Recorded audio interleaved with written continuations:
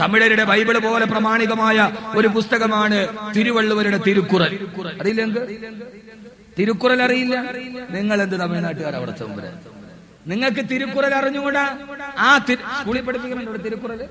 ഇല്ല ചിലടത്ത് ആ തിരുക്കുറലിൽ എന്താ തിരുവള്ളുവർ.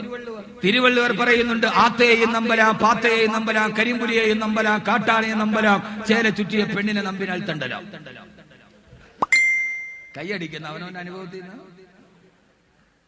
ആത്തയെയും നമ്പരാം പാത്തയെയും നമ്പരാം കരിമ്പുലിയെയും നമ്പരാം കാട്ടാനെയും നമ്പരാം ചേര ചുറ്റിയ പെണ്ണിനെ നമ്പിനാൽ തെണ്ടരാമെന്ന് തിരുവള്ളുവർ.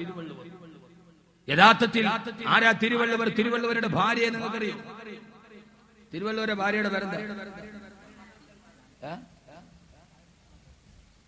നിങ്ങളെന്ത് തമിഴ്നാട്ടുമാരാ തിരുവള്ളുവരുടെ ഭാര്യ കണ്ണകി.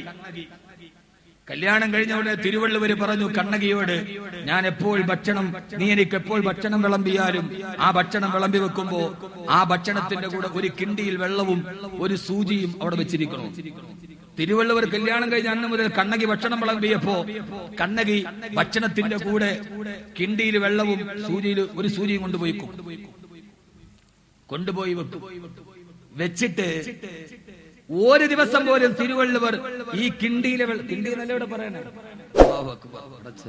കിണ്ടി തന്നെയല്ലേ? ആ സാധനവും അതിന്റെ സൂചിയും കൂടെ കൊണ്ടുപോയി വെക്കും. ഇതേവരെ തിരുവള്ളുവർ മരിക്കുന്നത് വരെ ഉപയോഗിച്ചിട്ടില്ല. ഭക്ഷണം കഴിച്ചു കഴിഞ്ഞ് കണ്ണകി ഈ വെള്ളവും സൂചിയും കൊണ്ട് വെക്കും. വൈകുന്നേരം വെള്ളം വീണ്ടും വെക്കും. പിറ്റേ ദിവസം രാവിലെ വീണ്ടും വെക്കും. ഏതാണ്ട് പത്ത് അറുപത് വർഷം അവർ ഭാര്യ ഭർത്താക്കന്മാരായി ജീവിച്ചു.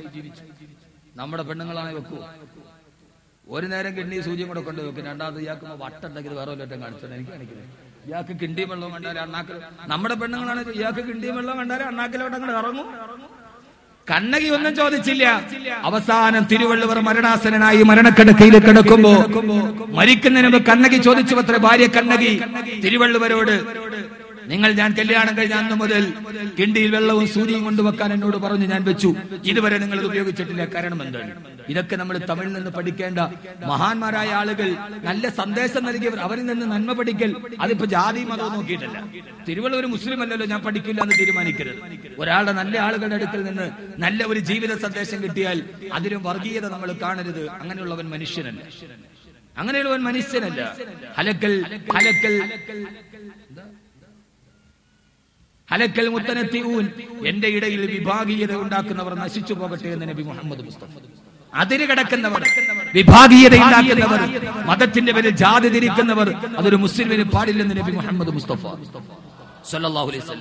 അവസാനം കണ്ണകി പറഞ്ഞു തിരുവള്ളൂർ പറഞ്ഞു അത്ര കണ്ണകി ഞാൻ ഭക്ഷണം കഴിക്കുമ്പോൾ കിണ്ടിയിൽ വെള്ളവും സൂചിയും കൊണ്ടുവെക്കാൻ പറഞ്ഞത്.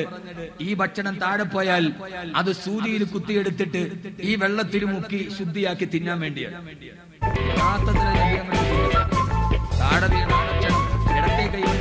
താഴെ കൊണ്ട് ശുദ്ധിയാക്കി കഴുക കഴിക്കൽ ഹബീബായ മുത്തിന്റെ സുന്നത്താണ്. നമ്മളത് ചെയ്യില്ല. തിരുവള്ളുവർ ചെയ്തിരുന്നു. നിങ്ങളത് ചെയ്യില്ല. തിരുവള്ളുവർ ചെയ്തിരുന്നു. അതൊരു സുന്നത്താണ്. അതുകൊണ്ട് ഈ സൂചി കൊണ്ട് താഴെ വീടുന്ന അരി അരസി കുത്തിയെടുത്ത് വെള്ളത്തിലുമൊക്കെ തിന്നാൻ വേണ്ടിയാണ് ഞാൻ അത് പറഞ്ഞത്. പക്ഷെ നിന്റെ വിളമ്പലിന്റെ സൂക്ഷ്മത കൊണ്ടും ഞാൻ കടിക്കുന്നതിന്റെ സൂക്ഷ്മത കൊണ്ടും അത് ചെയ്യേണ്ടി വന്നില്ല എന്ന് പറഞ്ഞു തിരുവള്ളുവർ. ഇങ്ങനെയാണ് ആ ഭാര്യയും ഭർത്താവും ജീവിച്ചത്. ഒന്ന് ആലോചിച്ച് നോക്കി തിരുവള്ളുവരും കണ്ണകിയും ജീവിച്ചത് ഇങ്ങനെയാണ് നമ്മുടെ വീട്ടിൽ നടക്കും. സ്ത്രീയെ ബഹുമാനിക്കുക. ആ തിരുവള്ളുവരാണ് പറഞ്ഞത്. ആത്തേയും നമ്പലാം പാത്തേയും നമ്പലാം കരിമ്പുലിയെയും നമ്പലാം കാട്ടാനെയും നമ്പലാം. ചേല ചുറ്റിയ പെണ്ണിനെ നമ്പിനാൽ തണ്ടരാമെന്ന് തിരുവള്ളുവര് പറയുമ്പോ